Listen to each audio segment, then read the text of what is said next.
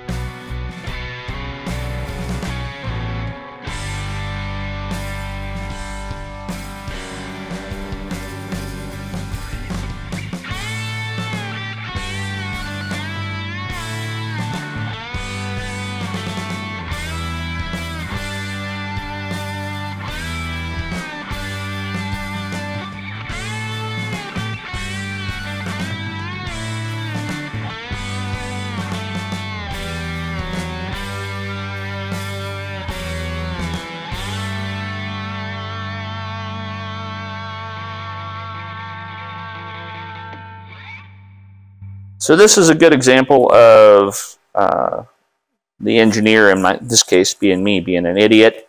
Um, you can see the gap between the, the, weapon shaft and the frame right there. Well, the chain is supposed to fit through there, and it obviously doesn't, so I'm going to have to going to have to relieve that frame piece a little bit so I can get everything to bolt together.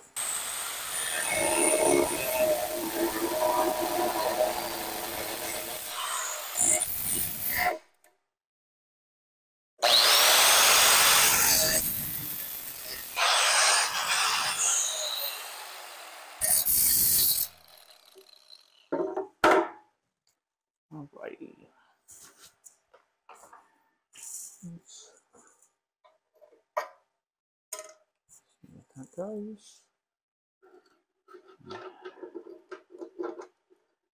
That's enough. That's enough. Barely. All right. So, kind of important here. The little sharp points right there. Somebody's fingers, probably mine, are going to be in this robot. So you always want to cut off all the sharp points, make sure nobody gets their fingers cut later on when they're working on the robot. 嗯。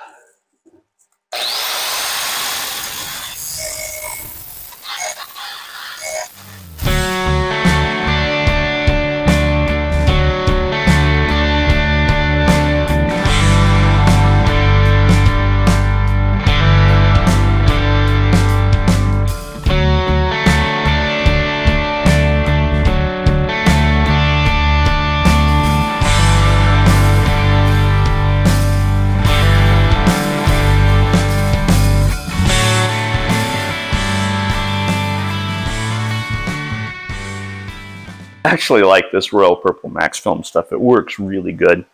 Um, it's a little pricey, but it, it works really good for this sort of stuff. So I'll just use that to kind of oil up those bushings a little bit.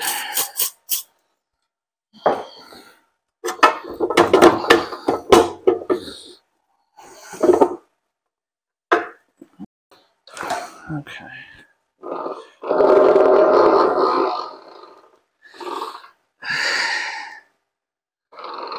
Take a, few RPMs to sort of grind that uh, plastic chain tensioner into place. And it'll be a little smoother. I can live with that. All right, it's uh, time for the moment of truth. Let's throw it on the scale and see where we are. Turn on that scale.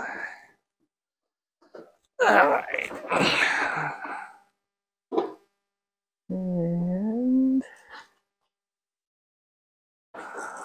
112 pounds.